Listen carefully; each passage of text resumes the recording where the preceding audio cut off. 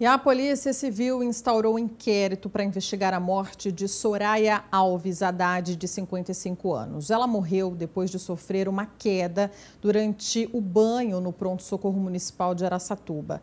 Soraya chegou a ser encaminhada para a Santa Casa, mas não resistiu. Segundo o marido, ela estava no pronto-socorro por causa de sequelas da Covid e teria sido deixada sozinha no banho.